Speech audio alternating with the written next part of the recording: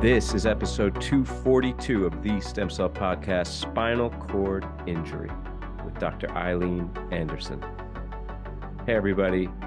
We are Daylon James and Arun Sharma. Welcome back to the Stem Cell Podcast, where we culture knowledge in stem cell research by talking to some of the brightest minds in the field.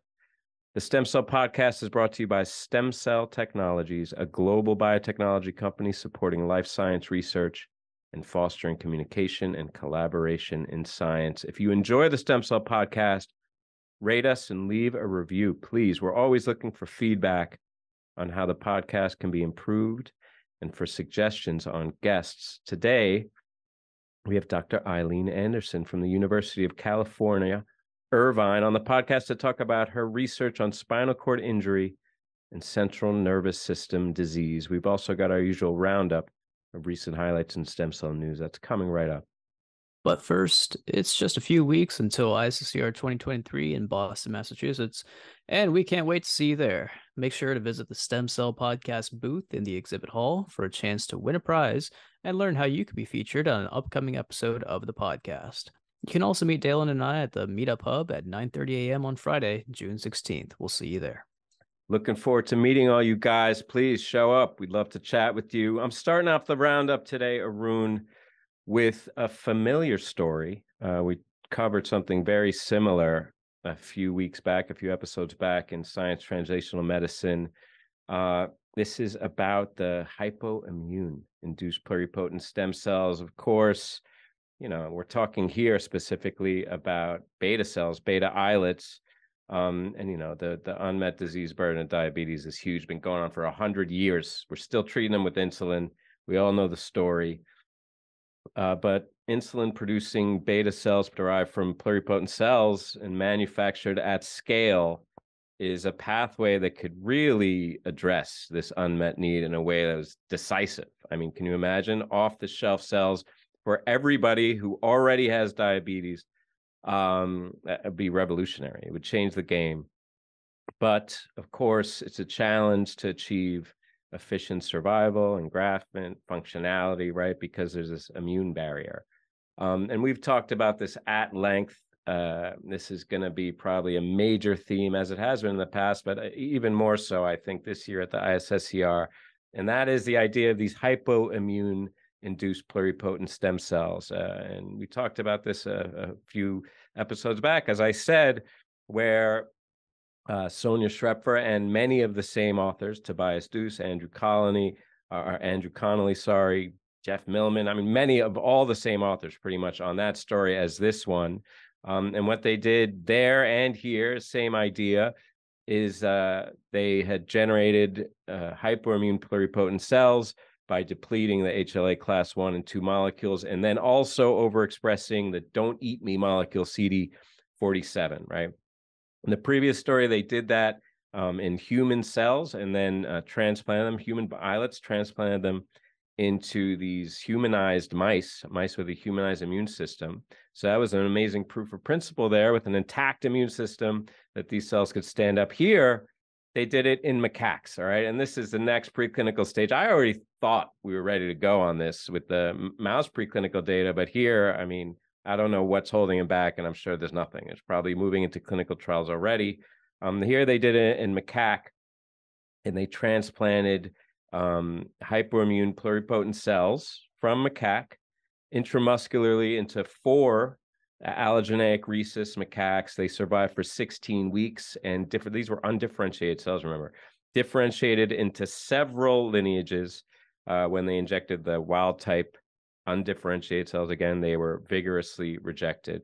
Um, they also did the same thing essentially they did in the in the uh, science translational medicine story, which they transplanted human um, uh, induced pluripotent hypoimmune uh, pancreatic islets they transplanted to these diabetic humanized mice.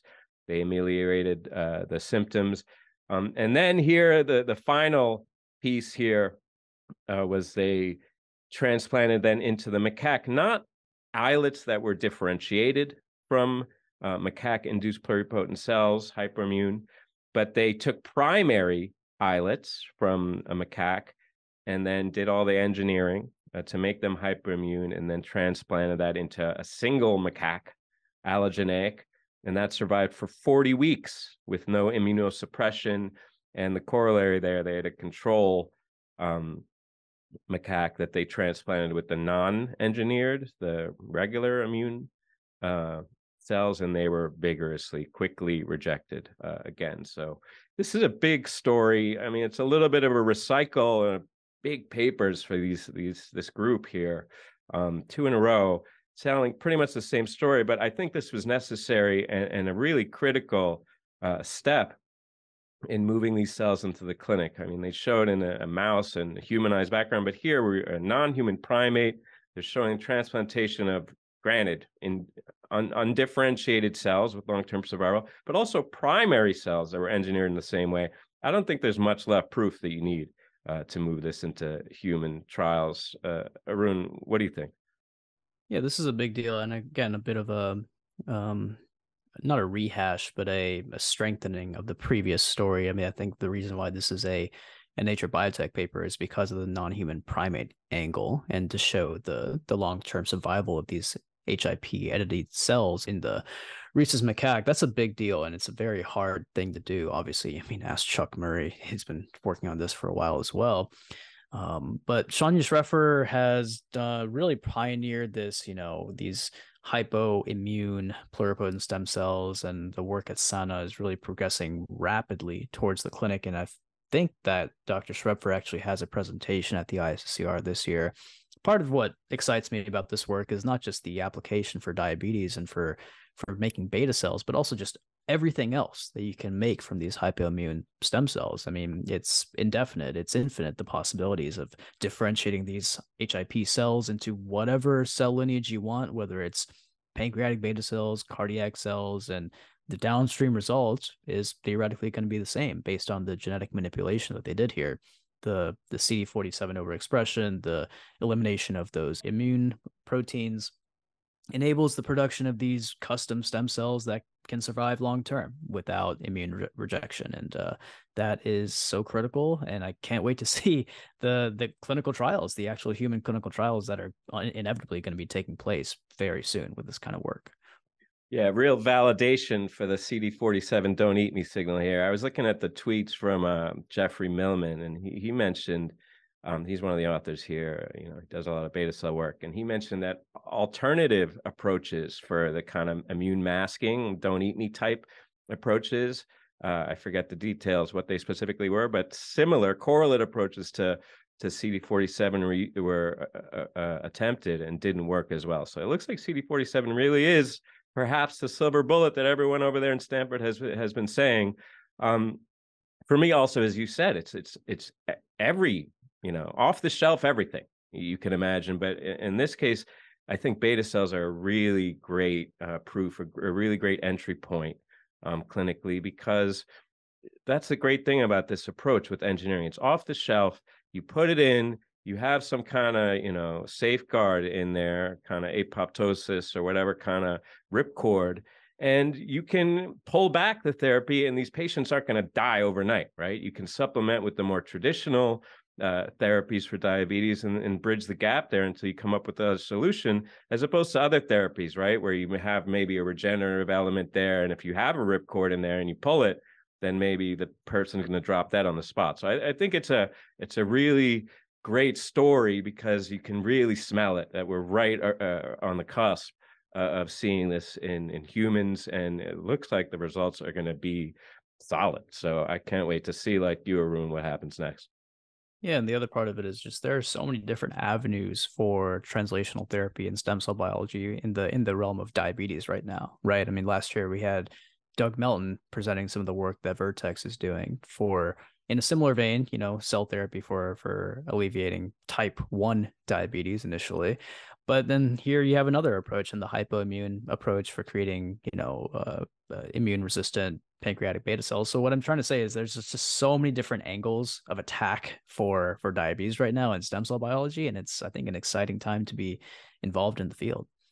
So moving on to the next paper for the roundup, this is another Nature Biotech paper, actually two back to back high profile Nature Biotech papers. This is titled Multimodal Spatiotemporal Profiling of Human and Retinal Organoid Development. This is coming from J. Gary Camp and also Barbara Troutline, who I believe received a an ISSCR Momentum Award, one of the ISSCR awards not too long ago, either last ISSCR or the, the one before that.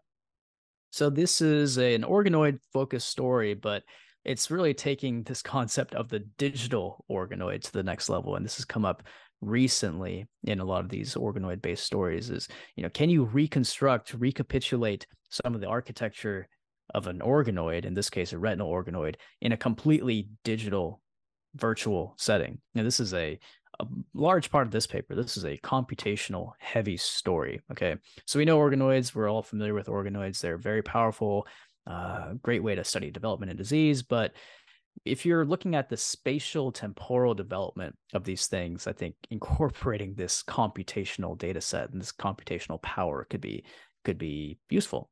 So here they actually generated multiplexed protein maps over a retinal organoid time course and also compare that to, of course, the primary adult retinal tissue to see just how close the spatial temporal development of these organoids really is. They created a toolkit to actually visualize the progenitor and neuron location in the organoids, the spatial arrangements of extracellular and subcellular components, and also the patterning in each organoid and also the primary tissues too. In addition to that, and like I mentioned, this is a deep, deep computational study. They generated a single cell transcriptome and chromatin accessibility time course dataset, a bunch of additional computational analysis to create a gene regulatory network analysis uh, that actually is theoretically driving the development of these retinal organoids. If you thought that wasn't enough, they integrated additional genomic data with uh, spatially segmented nuclei into this atlas based approach to explore organoid patterning, retinal ganglion, RGC neighborhoods, and just showed that there are certain genetic perturbations, especially with the OTX2 gene pathway, which I know is really important for retinal development, certain genetic perturbations that are critical for retinal organoid development. So that kind of made sense to me. It, that part of the study wasn't as exciting because ultimately it came down to OTX2, which I believe, and I'm, I'm not an eye biologist, I believe that's one of the master regulators of retinal organoid development.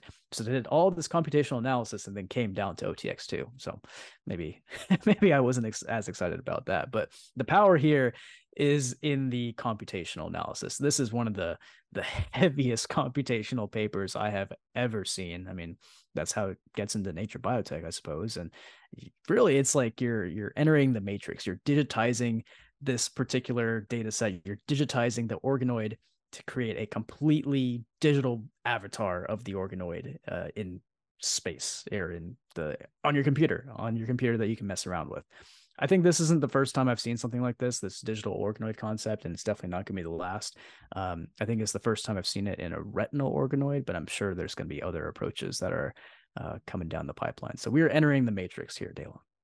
Yeah, it seems that way. And like you said, when whenever you see something in, in nature biotechnology, it's kind of like a gateway opening, right? It's like a, a, pathway to all the the the new horizons that are going to be open to you. Organoids in space, as you as you alluded to there. I don't know about that, but we're getting there. And the um for me, there's a, like an agreeable symmetry. You know, the first uh, organoid, arguably, was this uh, the optic cup from uh, Yoshiki Sasai. May he rest in peace. So it, it's nice to see that we're finally coming around and, and busting through the door to the next chapter of digital organoids, also in the eye. But I, I also wonder, you know, notwithstanding the amazing technical achievement here and, and the potential for hypothesis generation and all the biology and coming down to OTX, as you said. Um, where are we with the eye clinically? You know, I wonder if this um, is is uh, uh, reflecting perhaps uh, movement uh, clinically. You know, the eye was meant to be one of the first places where we had therap- therapeutic inroads with the immune privilege and all the progress with the retinal pigment- pigmented epithelium. Um, and I know a lot of people are still working on it, but I wonder uh, all this organoid work and the basic biology. Are we making clinical inroads in the eye the way we are with diabetes? Are we moving those cells into the clinic as quickly as all the other cell types? If you think, Arun? Yeah, it's a good question. I mean, Masayo Takahashi was working on this for a while in Japan, and I think some of those clinical trials didn't really pan out, or maybe they're still in the works. But I don't think anybody's put, going to put these retinal organoids into your eye anytime soon. I, I hope to God that doesn't happen. But I think it's a, it's a nice parallel to the clinical work, right? You got to figure out the mechanisms of how these things develop, perhaps in order to actually create those iPSC derived retinal pigment epithelial cells that everybody's putting into the eye, you know, to make them better for clinical therapies. So I think it goes hand in hand. This is definitely a pure basic science study, but the data set could be applicable to those clinical approaches. Yes, a very, very deep data set and perhaps representative of what we're looking forward to in, in, days to come. I mean, weeks to come, years to come. All the data we get these days is you need to have, you know, someone specially trained in a computer, you know, that rivals the, the deepest AI to get into it. But uh, I have a story here that goes back, you know, back to the future, old fashioned observation but using pretty amazing technology. And this is in my wheelhouse, what I know and, and love, uh, which is the blood and the vasculature. You know, of course, all of our organ function, you need to have a, a optimally constructed vascular network. Um, and really, the business end of that is the capillaries, right? These are the tiny little vessels uh, that are the major conduits, the, the real soul conduits uh, uh, for transport of soluble factors and nutrients, immune cells to all the tissues. You know, every cell is a, a couple uh, cells away. Every cell in the body is a couple cells away from the vasculature, right? You need it. Um, and the endothelial cells that make up those capillaries in the vascular network uh, are, you know, contingent on their birth and remodeling on on vessel morphogenesis, vascular morphogenesis. Um, and this has been mostly studied in neonatal stages where it's accessible. And that's like this critical window where you get the the bridging of this morphogenic quality, all the organs taking shape and getting larger, to the more homeostatic function in adulthood, where you need to maintain these organs in, in the face of injury or insult and reconstruct the vascular network.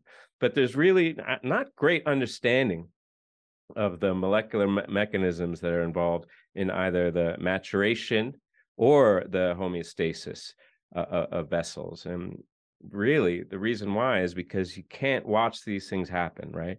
Like most uh, processes in science and observation, it's static. Um, if it's not happening right before your eyes, it's difficult to make that observation. And the vascular network, it's difficult to to monitor longitudinally um, and also, you really can't, although there's all these kind of, you know, branching angiogenesis assays and in vitro vasculogenesis, et cetera, you really can't model the bona fide uh, vasculogenesis, morphogenesis, and homeostasis in vitro, right? And you can't monitor mammalian easily. You know, you got the fish system, you could see right through, and all these um, you know, frog, uh, other vertebrate systems that are amenable to imaging over longitudinal time scales, but not in the mammal, right? Um, so here we go with uh, Valentina Greco uh, from Yale, and, as well as Karen Hershey, uh, who is at University of Virginia Medical School.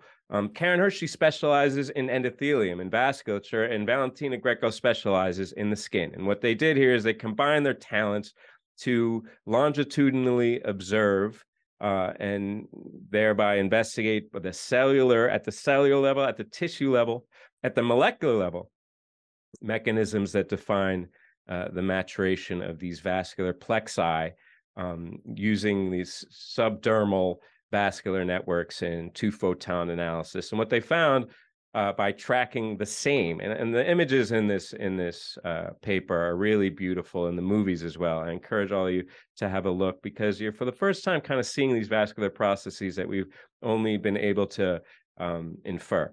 Uh, here they tracked a, a symbol a single uh, neonatal endothelial cell in multiple iterations over days and weeks um, and show that the expansion of the vascular network is uh, driven by regression, right? You have this massive network or uh, plexus, and then you pare down to optimize the perfusion. And that was understood, but never really visualized in real time.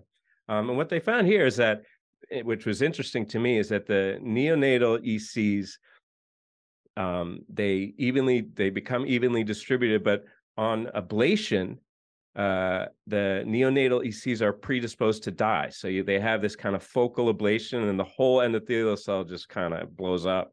Whereas at the adult, when you have this local ablation, you have what's called this plasma lemmal response, where the the the endothelial cell sends out some membrane to try and repair uh, that process, which which for me was a really notable distinction. I think has a lot of relevance. And finally, they showed uh, you know some signaling. They showed some mechanism. There's VEGFR2 signaling the underpinning it all. Like you with the OTX in in the eye, I was kind of like, uh, really VEGF signaling, haha, big surprise.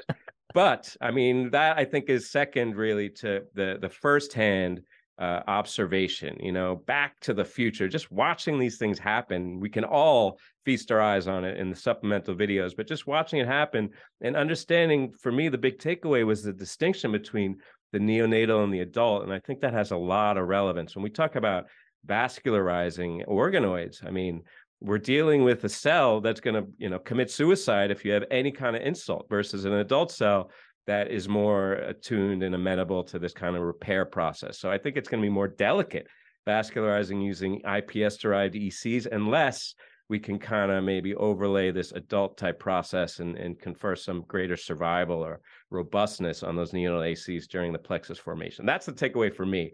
But there's a lot more in there for everyone to look at. A big deal cell paper that was really based in just watching these cells move and pretty incredible stuff. Yeah, this is amazing. I think this is a a tech heavy roundup like we like to do every once in a while, but being able to track a single endothelial cell over the course of development that is insane. That is absolutely wild. Um, I agree with you. I think the the tech is really driving the strength of this paper. The the VEGFR2 part of it, I think, is more of a validation. It's like, all right, cool. We got this amazing technology. We can make all these observations, just like in the previous study with the retinal organoids. And then at the end, we got to do a proof of concept. Okay, let's pick our favorite gene that's known to implicate in these pathways. You know, OTX for the eye and the VEGF for endothelial cells. And okay, it works. Great, awesome. And I think that strengthens the overall mechanistic part of the study. But again, I think the the strength of the both of these stories, all these stories, is in the tech and how the tech is actually enabling you to make those mechanistic observations. Yeah, uh, you said it. To be able to track a single endothelial cell, but also to be able to see it in context and in the context of this injury and remodeling. So, a, a great uh, tool here, seeing the forest and the trees, so to speak, and, and getting the whole picture. So, a, a great story from a, a, great friend of the show, Valentina Greco. We're going to have to have her on to talk about this and her ongoing work one day soon. Absolutely. And moving on to the last roundup paper, also coming from another friend of the show who we had on the show not too long ago. This is June Wu, and also talking about a topic that you know and love, and that's cows. No, just kidding. Blastocysts. Blastocysts. I'm sure you like cows too, but these are actually bovine blastocyst like structures created from human pluripotent stem cells, not not human pluripotent stem cells. They're not cows made from humans. They are bovine blastocysts made from cow pluripotent stem cells. Important clarification there. But yeah, this is building off of a lot of the work that Jun Wu has been doing over the last couple years, making these in vitro blastocysts like structures, these artificial blastoids that they like to call them, these surrogate blastocysts. Initially, they were creating them from uh, from human cells, and now they're creating them from bovine, from cows, from cow cells. And the implication here is for um, assisted reproduction for farm animals. That's that's one downstream application for for this particular technology. So understanding the mechanisms of blastocyst formation implantation is you know critical for improving farm animal reproduction. They straight up say that early on in the paper. They're not trying to do anything crazy. I think they're just trying to understand the reproductive processes for for for cows and other farm animals. And this is important because this is a huge huge industry especially in Texas, which is where Jun Wu's lab is located. But to actually better understand the developmental processes in different farm animals like cows, uh, you need a supply of embryos. And that's why this study is what it is. It's trying to address that limitation in the the embryo supply for cows, and hopefully using these cow blastoids as a surrogate. So they developed an efficient method to actually create bovine cow blastocyst like structures, which they call blastoids in the realm of what they did before, uh, by assembling different bovine blastocyst uh, stem cells and also these expanded potential stem cells that they had alluded to in their previous studies. It's a short cell stem cell paper, you know, just a couple figures, just a proof of concept, and uh, actually one really cool application that I'll get to. Um, they the bovine blastocysts resemble real cow blastocysts in their morphology, their cell composition, gene expression, did a bunch of single cell transcriptomics. You have to, of course, make the comparison between these developmental analogs and the real deal, just like in their other story. They also grow pretty similarly in vitro. And then this is I think this is the the really cool part of this. It's it's one step towards the the implantation and the clinical translation part of it, but they try to get as close as they could uh, at this point. So they actually put these bovine cow blastocysts into into a cow, into uh, a female cow, and they found that they elicit the maternal recognition of pregnancy. So they're actually uh, inducing the signal of pregnancy just by being implanted into into the the, the female cow. Um, so that's really interesting. It's it's eliciting some of these signals that are normally elicited during standard uh, natural pregnancy. So they're doing something right. I don't think those signals were perfectly on par with what you would get with like a true natural bovine embryo that's developed in in in utero in the uterus, but that's a really neat proof of concept. So it's a it's an accessible in vitro model for studying embryogenesis in in cows and in farm animals and maybe it can be used to actually improve reproductive efficiency in livestock species that's the the big downstream potential here yeah sometimes i wonder if june is just like hey i got these cells lying around let's make some blastoids out of it. But uh, uh in this case i don't think that's true. I mean uh, bovine while you may seem it's not really clinical relevant maybe not um, there is a lot of you know relevance to agriculture and livestock and also i think to basic biology uh, the livestock element you, you alluded to it but like you know breeding is is good but the the end game i think in livestock is like cloning. So you get these really you know great high producing um, heifers or something and then you clone them so that they can be on par and have you know max efficiency. Or even you want to get crazy the whole idea with the convergence of like cultured meats and some other kind of sci-fi elements here the idea of just growing uh, meat in a, in a way that like maybe is akin to embryogenesis minus the whole neural development thing you know you've seen it all in that movie the island and plenty of other you know dystopian horror sci-fi but i don't think it's out of the question in terms of long-term reality so there, there's some real relevance to society here, and to me more more than anything, uh, there's just development. You know, when you talk about mammalian development, every animal has their own thing, uh, their own reproductive pro- process, their own you know pre-implantation and peri-implantation development. Um, and the cow's no different. And there's a lot of interesting biology there. You know, the cow implantation begins at day 16 to 18 post embryo elongation, you know? And, and, it's like all these, you know, ruminants, other types of, of, of mammals, sometimes, you know, post gastrulation or perigastrulation implantation, there's a lot of nuance to mammalian development uh, surrounding the implantation process and gastrulation in those early stages. So having uh, the potential to make these bovine blastoids, I think, is a is an inroad there and, and could maybe provide a lot of insight um, to maybe not our own bi- biology per se, but maybe a lever that could give us a, a, a bit of a insight. Yeah, I, I, I agree. I think the other interesting part of it, and I was just reflecting on this, the the tech and the genetic manipulation that we as humanity have been doing to livestock recently is is pretty incredible. I mean, just I was just making a list of it on this sheet of paper that I have right now in front of me, just off the top of my head. I mean, one, we have the MyoD cows, right? The the MyoD cows that are just super muscle cows that can basically kick my kick my butt if they want to. Uh, they don't need to hit the gym. But yeah, I mean, the, that's one example of you know genetic manipulation in cows. Of course, Dolly the sheep, right, was a sheep, is a livestock animal, and that's uh, one of the hallmarks in stem cell biology right now that happened 20 years ago. Uh, also, the pig xenotransplantation that happened not too long ago. That's again livestock species that was able to be genetically manipulated to ultimately create a heart that was somewhat immunocompatible in a human subject that was transplanted at the University of Maryland last year. So I think this is if you step step back and think about it, the amount of biotech that's going into the farm animal industry is pretty astounding. And uh, this is just another another example, another uh, data point to add to that, I suppose. Yeah, not to mention the the sheep that make have spiders milk protein in their milk and whatnot. I mean, there's this idea that's become more and more prevalent of uh, livestock as kind of biorepositories, and I don't think that's going anywhere. If if Junwoo has anything to say about it, but that's a bit of a rabbit hole. Uh, before we talk to our guest about perhaps stimulating ideas like this and others, we have a quick message from STEMCELL Technologies. Neuroscientists looking for more predictive power in their disease models are increasingly adopting human pluripotent stem cells in their research. STEMCELL Technologies offers products, protocols, and training to support HPSC derived neural models. Explore their collection of technical videos and webinars on neurological disease modeling by visiting www.stemcell.com slash neural disease model. All right, everybody. Joining us today on the show is Dr. Aileen Anderson, who is director of the Sue and Bill Gross Stem Cell Research Center at University of California, Irvine.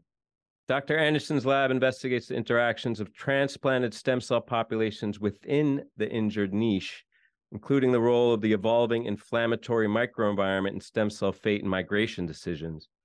They also investigate the role of inflammatory mechanisms in degeneration and regeneration in the injured central nervous system. Dr. Anderson, thank you so much for joining us on the show today. My pleasure. Thank you for having me.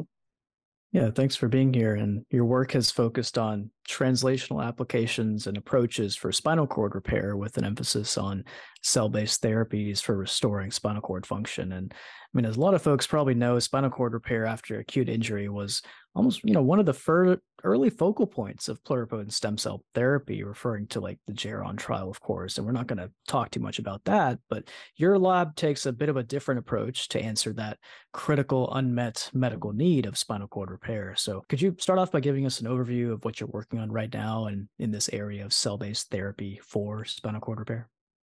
Sure. So um, my lab in the in the space of that aspect of my lab, cell cell based therapy for spinal cord repair, is really trying to understand kind of why things go right sometimes and why things go wrong sometimes. So the cell populations that we've worked um, most with are multipotent, right? So they can make any CNS cells, neurons, oligos, astrocytes. And um, it turns out in all of the preclinical, sort of translationally oriented studies that we do, that they listen an awful lot to the environment that you put them in. And so one of the things that we realized as we were kind of marching down this train from a translational perspective is that we had better understand that a lot better than than we did when we started. So what sorts of things are around them that they're taking information from how does that influence them for their fate their migration their overall engraftment?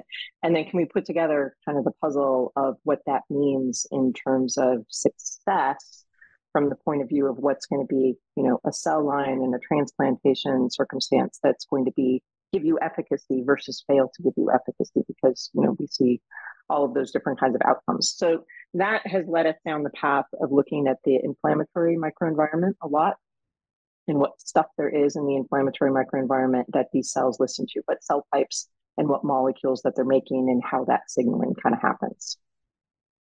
Yeah, a, a, lot of your work is focused on the influence of the innate immune response and complement pathways on stem cell behavior in, in both the native microenvironment of the injured spinal cord, as well as in the context of cell transplantation, right? Um, and innate immunity, as opposed to adaptive immunity, typically mediates the non-specific response to germs and foreign substances that enter the body. And in this eLife paper you published a couple years back, you show that a component of the complement cascade, C1q, actually modulates neural stem cell behavior. So, I mean, so accustomed to talking about overcoming the immune barrier and immune rejection to avoid uh, rejection of these cell based therapies. Does your work suggest that we can also enhance some elements or like hyperactivate some elements of the immune response, and, and that would lead to improvement in uh, uh, neural stem cell therapies? Yes and no, I would say. So, I mean, so you're spot on, right? The adaptive immune response is the, the really critical part about rejection that happens later. It's a huge problem for us in terms of like us as a field. In terms of cell transplantation therapies, it's a major barrier that really, frankly, to make progress with in terms of our next stage of clinical trials is a big one. We we need to get a good dent in that to be able to move forward as a field. Um, but the innate immune response is is exactly what it sounds right. It's kind of Johnny on the spot. It happens much earlier than the adaptive immune response is coming in. Neutrophils are into an injured environment in the central nervous system where you've broken down the blood brain or the blood spinal cord barrier within hours. You know, certainly um, peaking at around 12 or, or 24 hours after an injury where you've blown out the barrier. And those cells, it turns out, make a lot of stuff that stem cells are listening to. And so if you're thinking in a preclinical situation that you might be transplanting into a scenario where those innate immune cells, neutrophils, for example, or macrophages, microglia, as resident immune cells coming in a little bit later, if they're going to be around, then the cells that you're transplanting are most likely going to be listening to what they have to say. So, what we showed was that there are a number of complement molecules. C3A is one, C1Q is, is another, and the eLife paper is really focused heavily on, on C1Q. Um, that in the context of the CNS, do something that's surprising, and that is that they are actually signaling to these cells. And so, why is that surprising? C1Q, for anybody who's an immunologist out there, is all about activating the complement cascade and phagocytosing debris and doing stuff that is not about talking to other cells. So there were no um, known receptors for C1Q that would let it talk to another cell, induce a set of intracellular signaling pathways. And that's what we identify in that eLife paper in the context of neural stem cells. Is that going to make cells do a better job? Probably activating that set of pathways is not what we want to do. Where we think that we can make things better by understanding that basic biology is by taking away that signaling you know? So one of the things that we show there is if we as an example one of the receptors we identified was cd44 cd44 of course has other ligands. We just show that c1q is one of them that we hadn't appreciated before. And if we knock out cd44 or if we deplete c1q in the microenvironment then we can change the way the cells that we've transplanted acutely after injury behave so a cell population that um, would have failed to give repair. And by repair here, I just mean locomotor recovery.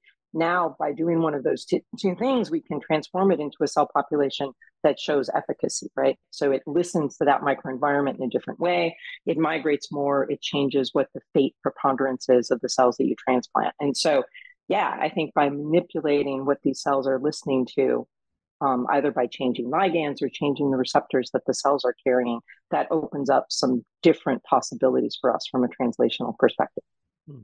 Yeah, and your lab is definitely very translationally oriented. That's no doubt. And I think it's really exciting that work from your lab has supported, you know, IND filings, new investigational, uh, new drug filings for an FDA approved phase one trial of human neural stem cells in uh, you know, in PMD, for example, Pelizaeus Merzbacher disease, and uh, also, you know, this phase one, two clinical trial in thoracic spinal cord injury, SCI, like what we're talking about. I mean, this is no doubt a dream for most translational stem cell biologists, and most folks don't get that far to see their own life's work being moved to the clinic and ultimately helping people in need. That's what it's all about, right? I mean, it's no secret that the FDA approval process for cell-based therapies it's a, it's a long road, and this has been documented forever. But I mean, tell us about your own experience on the on the regulatory and the FDA side of things and the approval side of things, and actually moving these therapies towards clinical trials. Yeah, so that's a I mean, it's a risky game for a scientist at an academic center to participate in, right? And so, um, for my lab, for, for my work, I knew early on that I was really interested in translation. And so that was a, a worthwhile place to kind of put our chips down. We all try and balance that, you know, with basic science, totally discovery science at the at the same time. I think it's really important to be engaged on both ends of that spectrum um, in reality. I think that's where we can make our basic science have some impact and you can't do good translational science in the absence of basic science in, in reality. Um, so for a lot of our my early work our early work that was in the translational realm that um, was partnering with an outside company right who had the cells but didn't have the tools to go after central nervous system injuries or, or diseases. And so that for um, our kind of launch into this domain was a um, a really fruitful set of collaborations that that happened in the, in that early period, right? Um, where we just tested in translational models that had applications, as you mentioned, for a couple of different kinds of disease states. Could we develop a model where we could probe the capacity of cell transplants to, to yield repair? Was so exciting to be involved in that early work. And the people who came to my lab during that period, my grad students and postdocs, and you know, super close collaborators at, at UCI, Brian Cummings, who's on, on faculty here, you know, was really um, a, a, a, huge part of that work. It was all a collaborative effort. It was so exciting for all of us to have that idea that what we were doing could move across that barrier into actual testing in in in patients who are suffering with these these long-term conditions.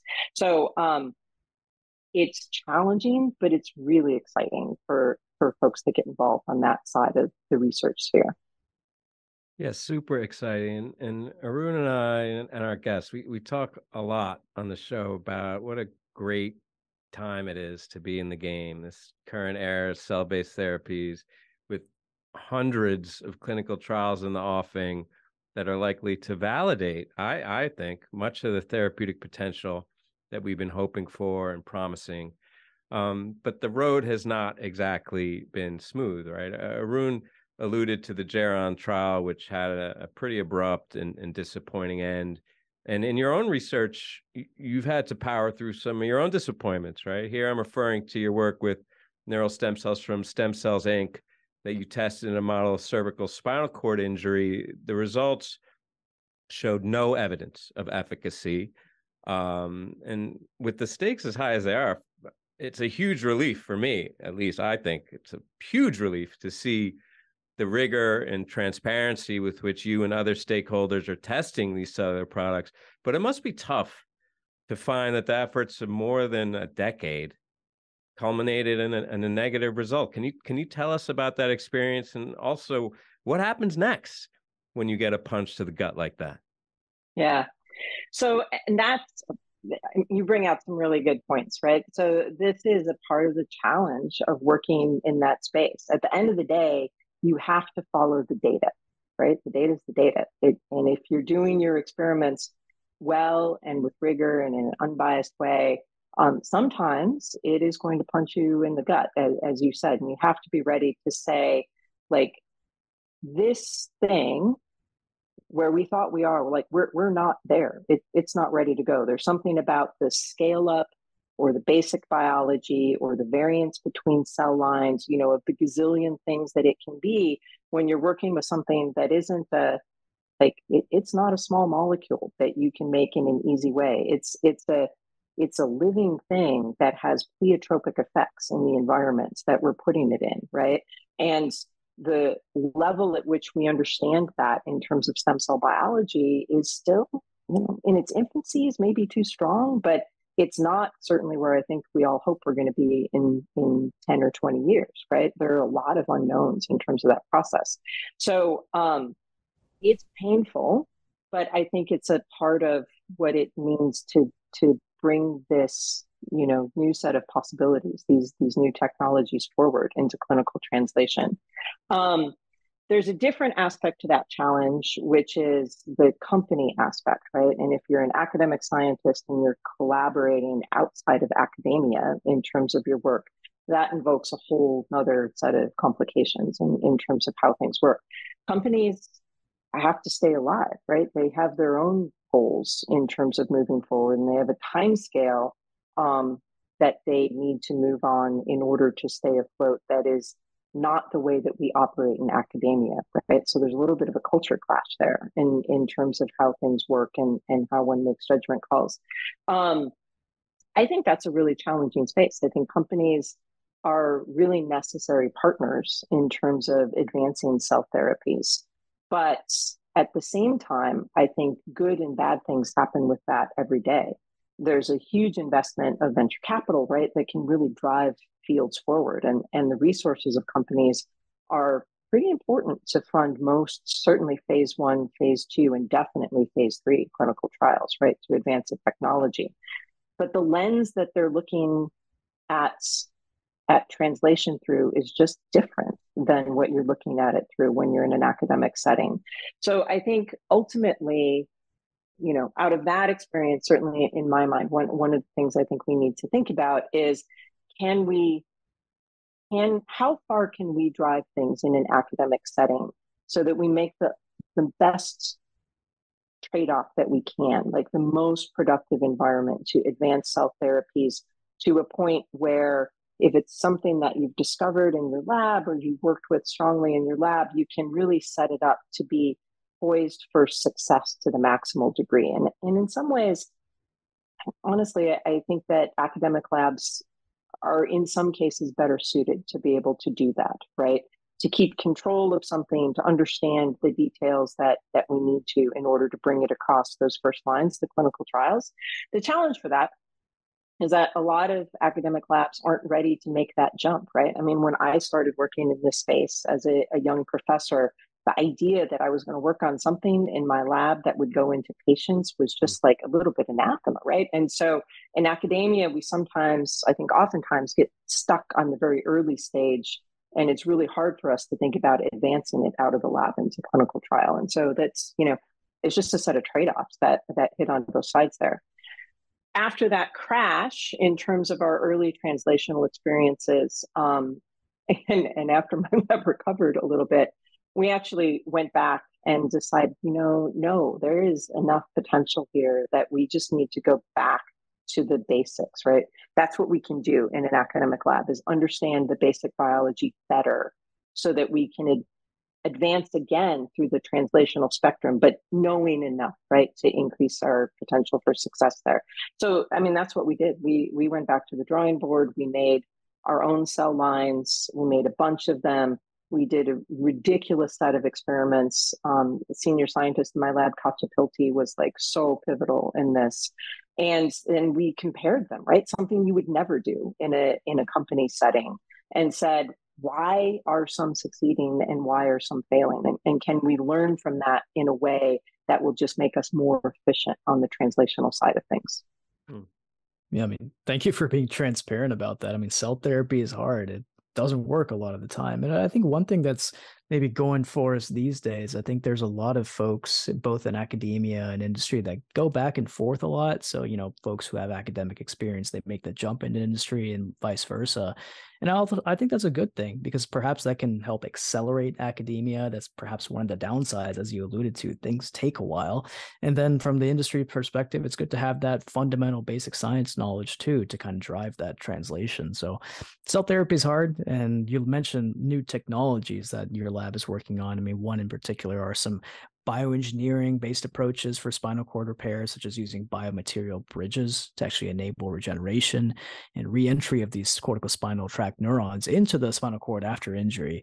I mean, this is a paper that was published in Biomaterials a few years ago and actually showed functional recovery of forelimb function. And this idea of, you know, the biodegradable scaffold, it's been around for a little while, but integrating into spinal cord injury, I think is pretty interesting, especially with like all the advances in biocompatible materials that have intersected with stem cell biology in recent times. So tell us a little bit about that kind of unique approach, this kind of biomaterials, bioengineering approach, and you know where where that is right now when it comes to spinal cord repair. Yeah. So the the biomaterials projects I've really loved for for a long time. So I'm actually a bioengineer as an undergrad who kind of stumbled over into neuroscience for my my PhD. Um, and we have a longtime collaborator uh, in my group, Lonnie Shea, who's at University of Michigan, who a bunch of years ago now came up with this idea of making a biodegradable scaffold um, and I met him at a meeting and we talked and I was like, yeah, scaffold's not going to do it. You got to like axons will go in and they'll just get stuck. They won't go out the other side. A million people can make axons grow in. That's not enough, right? You got to do something more.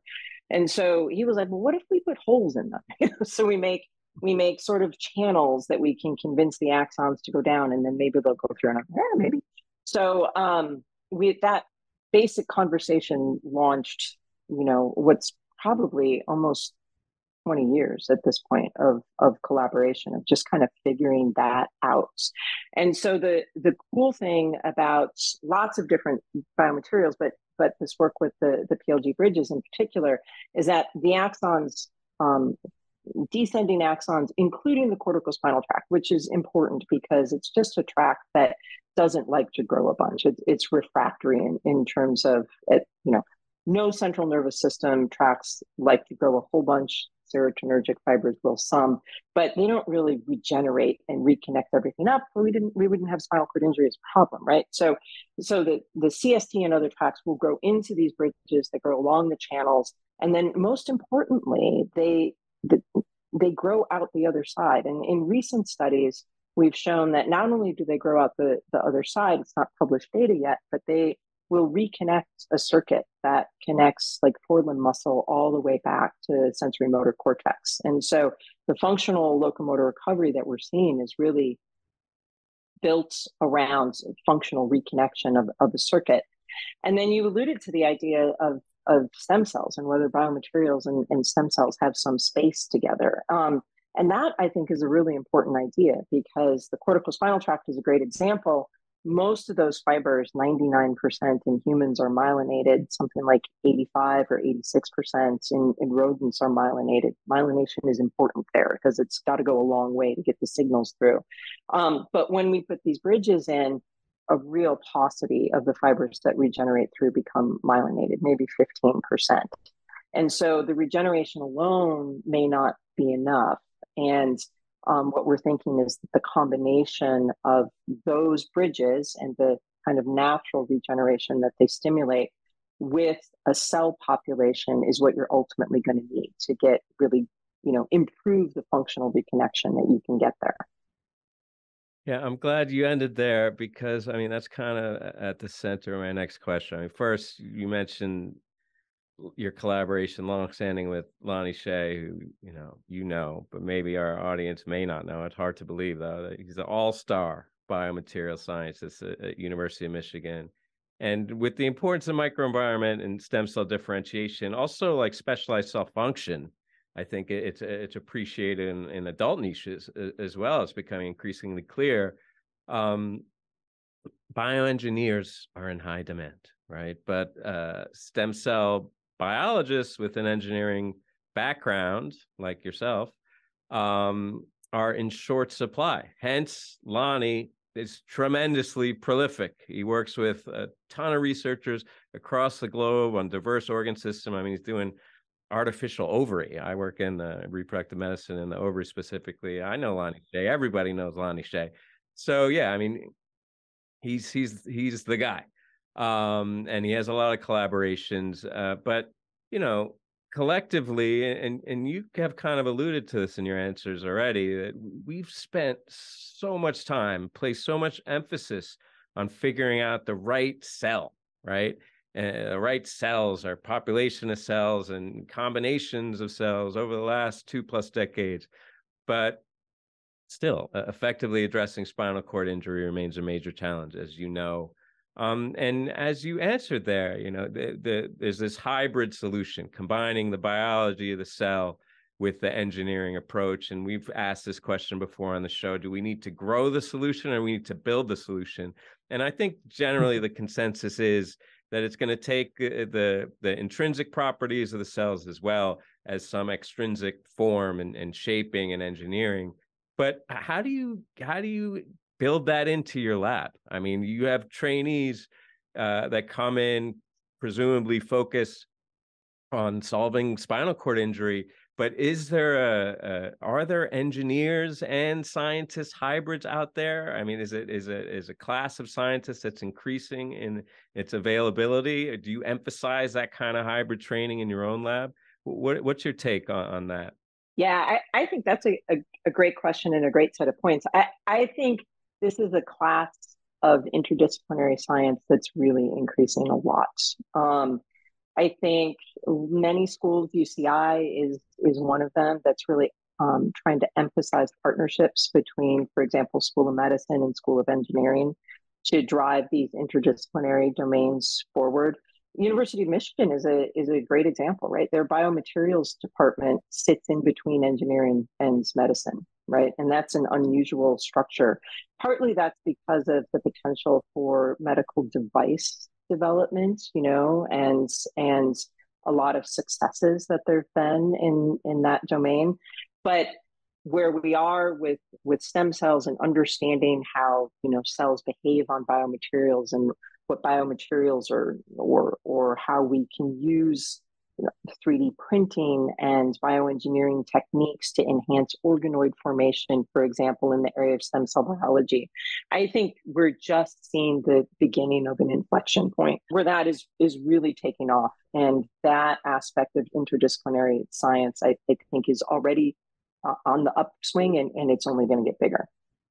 Yeah, I mean, you mentioned how UCI is kind of perfectly positioned to be that institute, that cross interdisciplinary institute that can facilitate some of that next generation of science. And I mean, you've been at UCI for, for a while now, which is like, you know, it's one of the premier schools in the UC University of California system. I know. I mean, just down the road in LA here.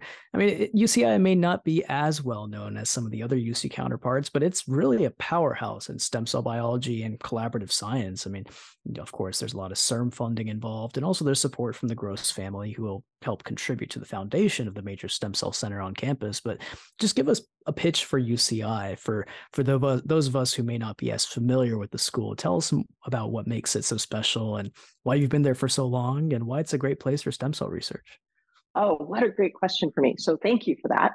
Um, I would highlight a couple of things about UCI. I have been here a long time. My my, my entire career as faculty has has been at UCI, on up through assistant professor to becoming director for the center. Um, there are a couple of things I would highlight. It's a young campus, um, as as UCs go, right? Only UC Merced is is younger than UCI is. So the growth here has really been exponential over the last twenty or twenty five years. Um, growth in enrollment for undergraduates, for grads, for you know the number of faculty we have on campus. Our acronym is under construction indefinitely, in case you didn't know that. Um, and the cool thing about that, though, is that very dynamic in terms of the students and faculty that are here all the time.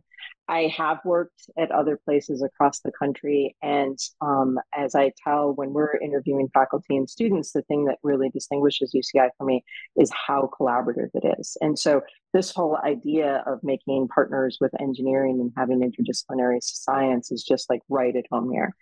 Um, so it's powerhouse in that regard. Its clinical enterprise is um, building hugely right now. We're in the middle of building out a, a billion dollar medical campus um, that's a stone's throw from from our main campus here. Super exciting times from that regard. And at the same time, you know, as you know, being in California, um, there's a big emphasis across the UCs and within California about um, making sure that we're serving all Californians, right? Underrepresented minorities, medically underserved communities, um, all of these things. And something that I personally am very proud of at, at UCI as a first gen college student myself is that UCI really puts its its emphasis where its you know proverbial mouth is there. So um, we have more first generation college students than any other UC campus. We're a minority serving institution for um, uh, um, Hispanics and um, probably soon to be Asians. Um, and all of those um, aspects of UCI come together, I think, to create a really unique environment that's just a lot of fun to work in. Wow, that's a great pitch. Even what maybe someone, I know you're joking, but some might think a, a negative connotation under construction indefinitely, but I think that's a great metaphor for all of our appreciation of science and and and clinical translation. I mean, all of our work and efforts, it's it's under constant revision and, and reconstruction. So um, I love it. I would love to be in a world under construction indefinitely, and, and you make a strong sell for you UC Irvine for any of those people looking to go or, or, or become faculty. Listen to Dr. Anderson and also listen to all the great insights she shared with us. Uh, what a great interview. Before we let you get away, though, we have a couple science peripheral questions we're going to ask. Uh, first, I can't wait to hear what you have to say about this because I, I mean, you're you're giving me so much in this interview. What is the biggest misconception do you think about science that you'd like to resolve?